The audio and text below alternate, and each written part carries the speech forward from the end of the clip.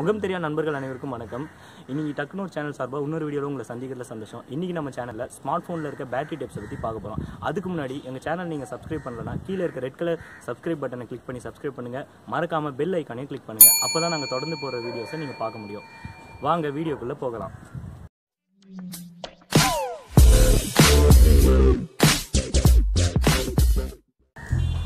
ஐஃபோனில் ஃபோனில் பொதுவாகவே ரெண்டு வகையான பேட்டரிஸ் தான் இருக்குது ஒன்று வந்து லித்தியம் அயான் இன்னொன்று வந்து லித்தியம் பாலிமர் இது நீங்கள் ஸ்மார்ட் ஃபோன்ஸ் வந்து ஆன்லைனில் வெப்சைட்லாம் வாங்கும்போது நீங்கள் பார்த்துருப்பீங்க மென்ஷன் பண்ணியிருப்பாங்க. இந்த லித்தியம் அயானோட லித்தியம் பாலிமர் வந்து அதிகமாக மென்ஷன் பண்ணுவாங்க கம்பெனிக்காரங்களாம் ஏன்னா வந்து லித்தியம் பாலிமர் வந்து கொஞ்சம் அட்வான்டேஜ் மாதிரி. நான் கூட யோசிச்சிருக்கேன் லித்தியம் பாலிமர் என்ன அட்வான்டேஜ் இருக்குது அப்படின்னு.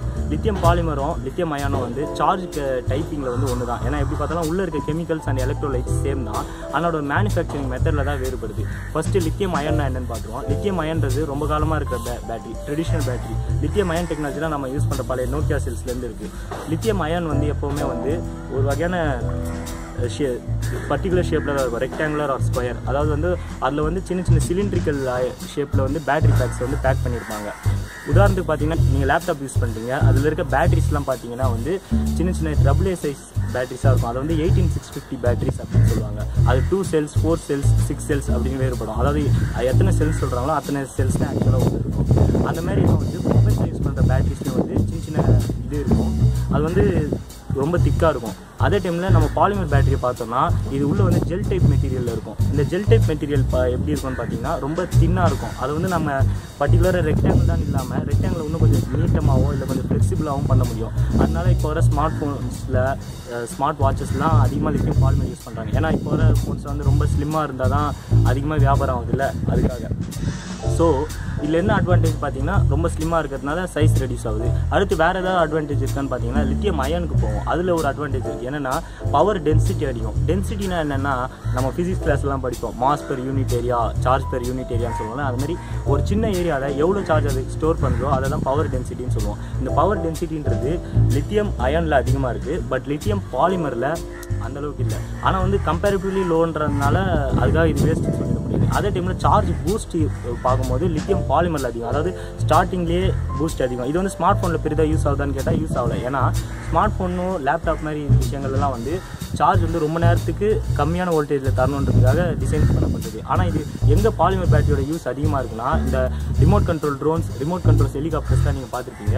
அதுலலாம் இது கண்டிப்பாக யூஸ் ஆகும். ஏன்னா ஸ்டார்டிங்கில் அதை எலிவேட் பண்ண அதிகமான சார்ஜ் கம்மியான டைமில் தேவைன்றதுனால அதில் கண்டிப்பாக அவங்க லித்தியம் பாலிமர் பேட்டரி தான் யூஸ் பண்ணி ஆகணும். அதெல்லாம் யூஸ் பண்ணுறாங்க ஸோ இப்போ கேட்கலாம். இப்போ நம்ம ஸ்மார்ட் ஃபோனில் இது இதுதான் மைன்யூட்டான வித்தியாசம். ஆனால் உண்மையிலே லித்தியம் பாலிமர்ன்றது இது ஒரு பேக்கேஜிங் சிஸ்டத்தை தான் வேறுபடுது தவிர ஆக்சுவலாக இது பியூரா லித்தியம் பாலிமர்னு சொல்ல முடியாது. லித்தியம் பாலிமர் பேட்டரின்னு உண்மையிலே ஒன்று இருக்குது அது எக்ஸ்பெரிமெண்ட்டில் இப்போ ஒன்றும் போயிட்டுருக்கு. ஆனால் அது கன்வென்ஷனலாக நம்ம பெருமளவில் வியாபாரத்துக்கு யூஸ் பண்ணுறதில்ல அது காரணம் என்னென்னா ரூம் டெம் டெம்பரேச்சரில் அதோட பர்ஃபார்மன்ஸ் வந்து இன்கன்சிஸ்டண்ட்டாக இருக்குது அதான் உண்மை.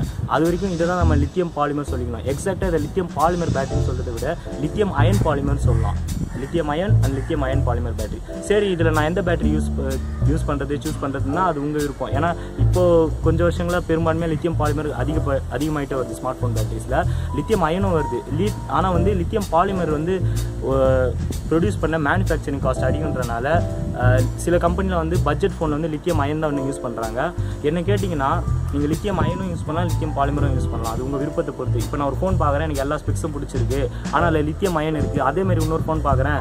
ஆனால் ஒன்று ரெண்டு ஸ்பெக் கம்மியாக இருக்குது ஆனால் அதில் லித்தியம் பாலிமர் இருக்குது அது வாங்கலாமா இது வாங்கலாமான்னு கேட்டிங்கன்னா உங்களுக்கு லித்தியம் அயன் ஃபோனில் இருக்க மற்ற ஸ்பெக்லாம் பிடிச்சிருந்தா நீங்கள் தாராளமாக லித்தியம் அயனே எடுக்கலாம்.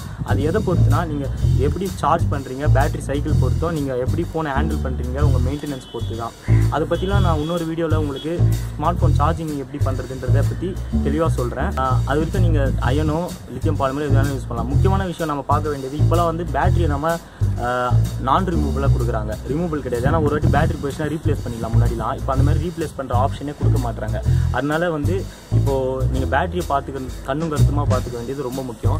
அதை பற்றி எப்படி நீங்கள் பேட்டரி சார்ஜ் பண்ணுறது பேட்டரி சைக்கிள் இது பண்ணுறதுலாம் பற்றி உங்களுக்கு அடுத்த வீடியோவில் நான் வந்து சொல்கிறேன் அது வரைக்கும் விடைபெறுகிறேன். இந்த வீடியோ பார்த்தமைக்கு நன்றி. மறக்காமல் லைக் பண்ணுங்கள் ஷேர் பண்ணுங்கள் கமெண்ட் பண்ணுங்கள் ஓ